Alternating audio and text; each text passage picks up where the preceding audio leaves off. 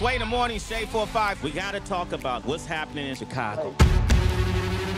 Everybody's watching this viral video of this guy in the hoodie. They're calling him the Grim Reaper. He stopped a carjacking. Is he right for taking the law into his own hands? He's become a folk hero. What about the shooter? You look like a white dude.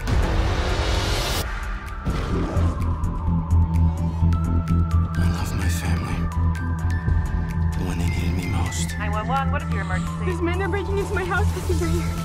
No. I failed to protect them. The men who did it are out there. So there's nothing that you can do? Is that what you're saying? If a man really wants to protect what's his, I want to buy a gun. he has to do it for himself. We're closed, pal. You killed my wife. Who else was there? I don't know anything else. I believe you, Joe. But you're not gonna kill me. No. Jack is. You got caught in some crossfire? The ice cream man done it.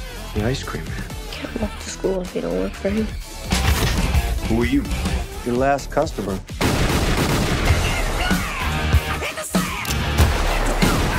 You're not a cop. Somebody has to do it. You're cocked, locked, and ready to rock. I'll say.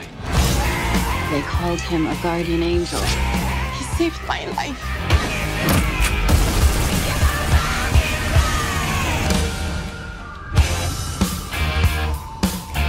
You look much better getting out socializing.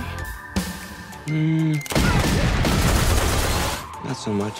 Well, whatever you're doing, keep it up. Okay. I will.